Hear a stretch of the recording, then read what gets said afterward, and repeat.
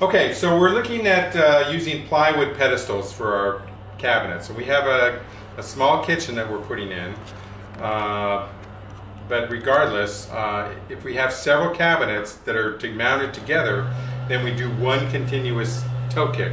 We don't do individual toe kicks for each cabinet. In this case, we have one single cabinet and we've got an individual toe kick uh, built for it.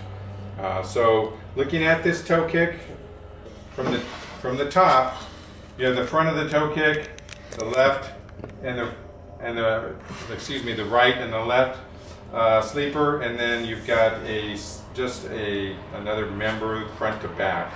The one thing that I like to do is make my sleepers go all the way to the wall, and then the back component of my toe kick is recessed by three quarters of an inch, so that if the wall is not flat, it's only the toe kick is touching at the left and the right points, and if there's a big bow or belly in the wall, then it doesn't affect the total shape of my my toe kick.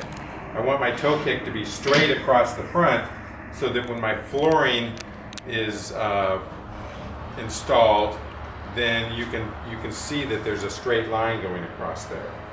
Uh, looking at this, we've installed some hardware to the bottom of our toe kick, and this is basically, it's a uh, leveling device.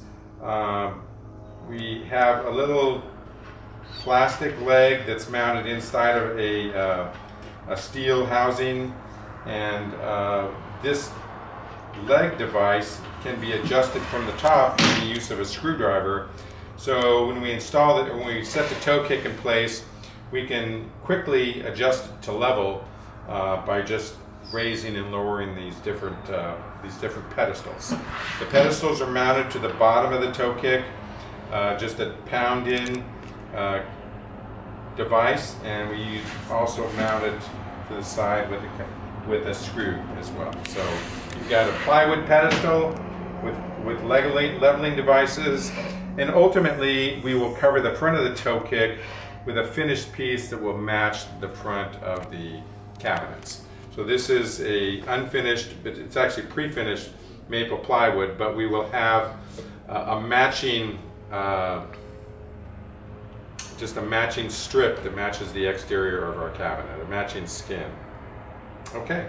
So Brendan, on those leg levelers, do you leave them in place then and they carry the weight of the cabinet or do you do, you do something else uh, to, to uh, make it more solid to the floor? Okay, so that's a good question. These, these legs are meant to carry uh, a reasonable amount of, of weight, but by the time a cabinet is loaded up with drawers that are full of stuff, and we have a stone countertop on top of them, what I like to do is add some additional uh, strength to the assembly so that um, it is not going to be crushed by the weight of what is on top of it. So uh, I don't have them right here. Let, us stop this.